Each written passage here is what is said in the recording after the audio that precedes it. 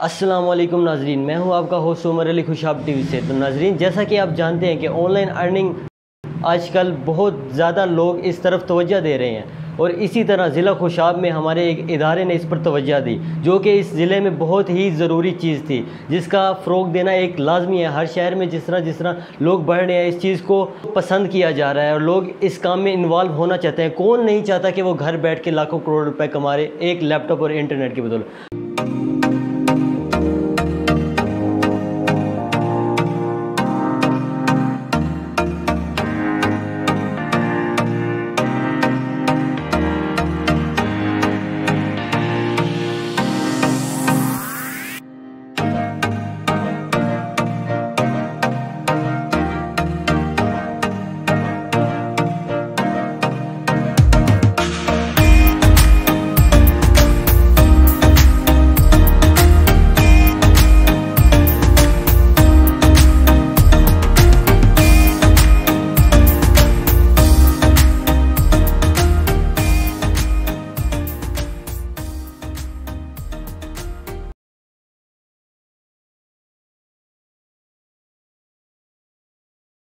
तो नाजरीन आइए आपको मिलवाते हैं ऐसी राइजिंग टैलेंट से जिन्होंने ज़िला खुशाब में इस चीज़ को फ़रोग दिया और लोगों को फ्री लांसिंग सिखाई है। तो आइए जानते हैं इनकी मोटिवेशनल स्टोरी अस्सलाम वालेकुम।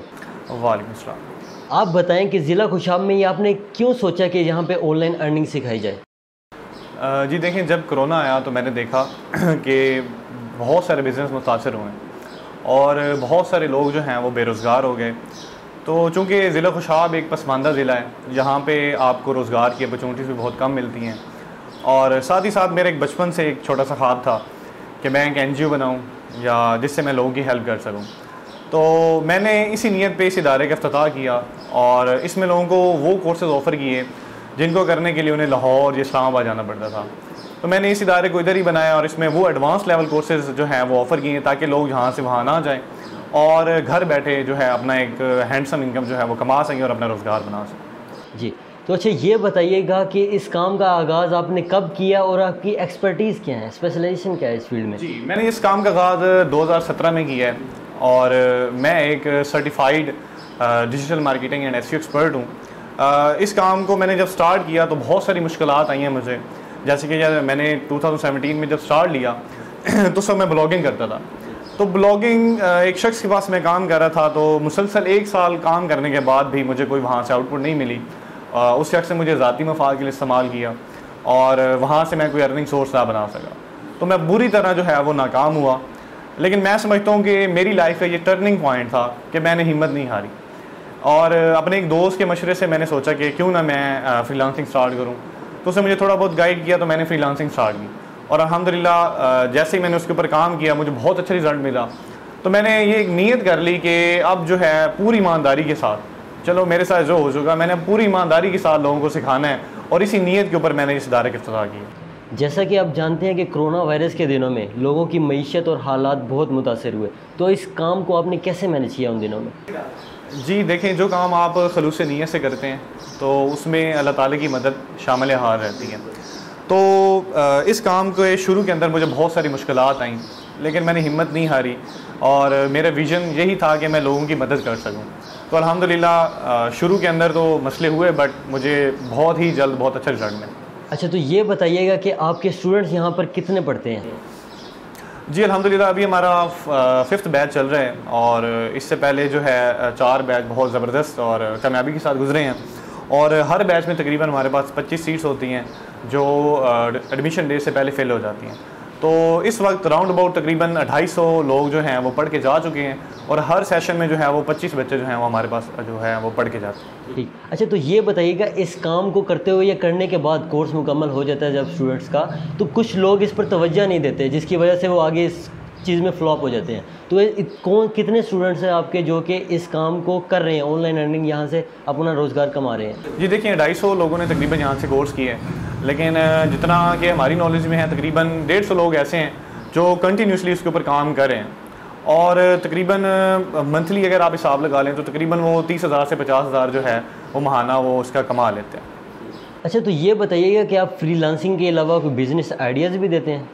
जी, बिल्कुल, जितने भी लोग हमारे कोर्स में इनरोल होते हैं, जो यहाँ से फ्रीलांसिंग सीखते हैं, ना सिर्फ़ हम उन्हें फ्रीलांसिंग बल्कि उनको, उनका अपना बिज़नेस सेटअप करने का एक आइडिया भी दे कि वो कैसे अपना बिज़नेस जो है, वो ऑनलाइन कर सकते इसके अलावा अगर उनका पहले से ही कोई फ़िज़िकल बिज़नेस है तो उसे ऑनलाइन मार्केट प्लेस पर कैसे चलाना है? और तकरीबन, यानी कि हर तरह से तमाम जो गाइड है, वो हम जो है, वो प्रोवाइड करते हैं। तो ये बताइए कि आपके इलाके में जो बिज़नेस कर रहे हैं इस वक्त तो उनके लिए कोई सर्विसेज़ प्रोवाइड करते हैं आप?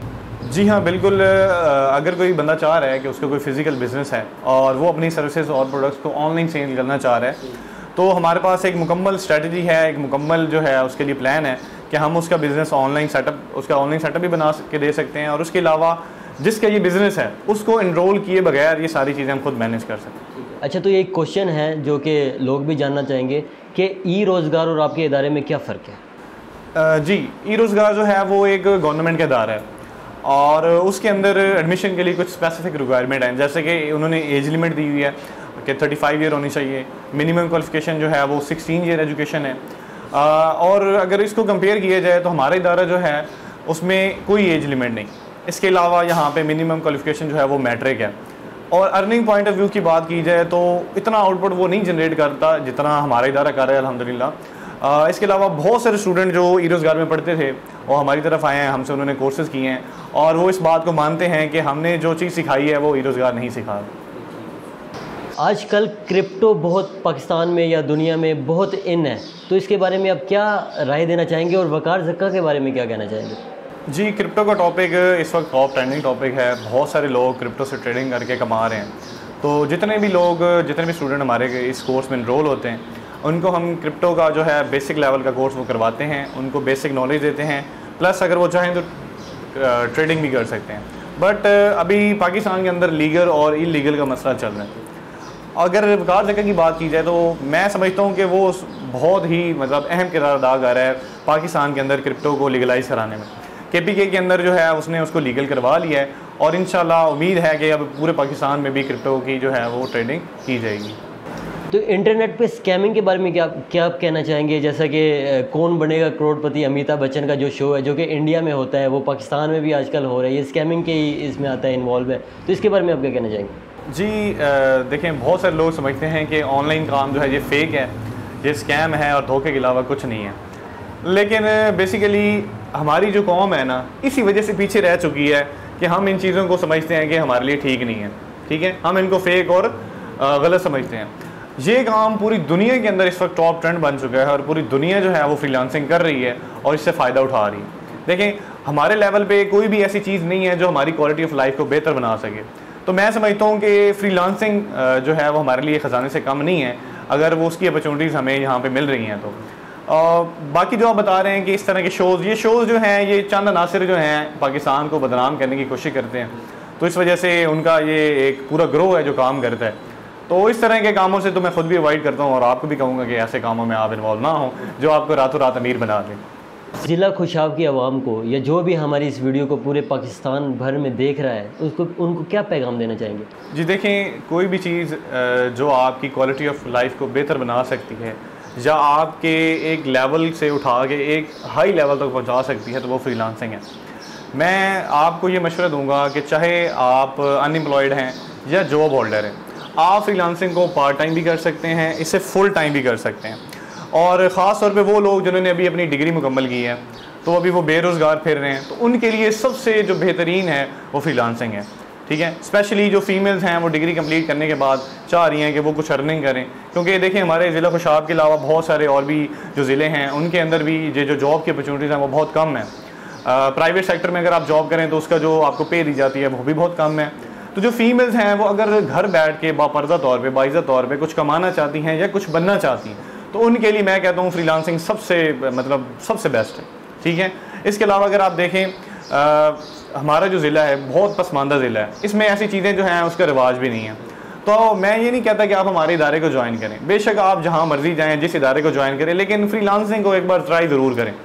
और अगर आप अपनी क्वालिटी ऑफ़ लाइफ को बेहतर बनाना चाहते हैं तो फ्रीलांसिंग के अलावा कोई भी ऐसी चीज़ नहीं है जो आपकी क्वालिटी ऑफ़ लाइफ को बेहतर बना सकती और आखिर में मैं बस ये कहना चाहूँगा कि ज़िंदगी के अंदर और दुनिया के अंदर सिर्फ़ एक ही शख्स है जो आपको कामयाब बना सकता है, और वो आप है। तो नाजरीन, ये हमारे साथ मौजूद थे इस अकेडमी के सीईओ शजेब अख्तर, जो कि इस अकेडमी को, इस इदारे को पिछले दो सालों से चला रहे हैं और इसकी कोशिशों में है कि ये लोगों के, लोग इससे कुछ फ़ायदा हासिल कर सकें और इससे को आगे अपनी लाइफ में इन्वॉल्व करें और इससे कुछ सीखें। तो नाजरीन, मिलते हैं अब अपनी नेक्स्ट वीडियो में, तब तक के लिए अल्लाह